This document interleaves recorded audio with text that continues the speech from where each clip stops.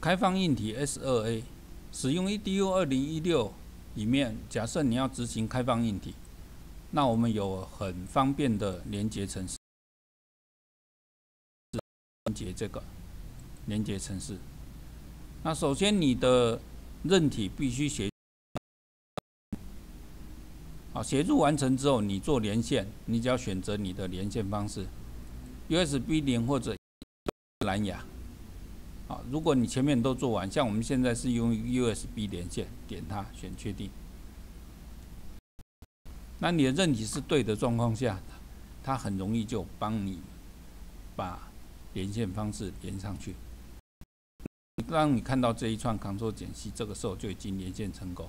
这时候这个视窗不要动，请你缩到最小或者不动它。连接开放引体。那这样子，这个时候连接成功，你直接执行我们的开放硬体 Scratch 二的，那你点选更多积木，好，它就已经连线成功，这绿灯就表示连线成功，这是 S 二 A 的连线。当你把这个程式关掉，它就会变红灯。十二 A 开放硬体，它使用的是 Arduino。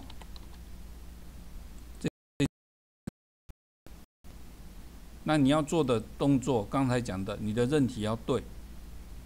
它的韧体是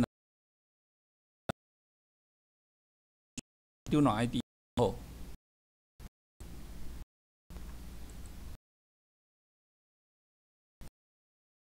，example。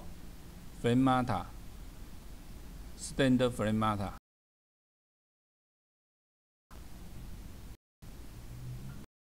这个翻译档叫出来之后，请你确认一下。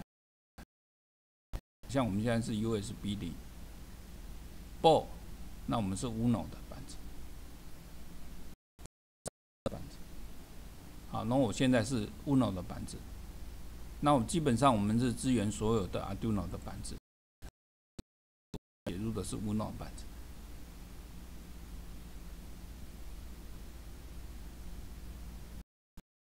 没有看到红色的字，或者你看到这英文字，当 upload，好，这样就写入成。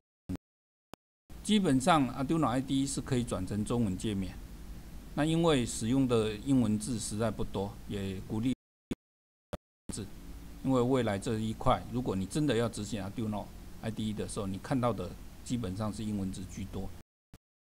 建议你改成中文界面。啊，要如果要改成中文界面，在 Performance 这边去选择，它就会是中文界面。好，这边我们还是不建议你做调整中。来，你看到很多文件，它还是英文界面在跟你说。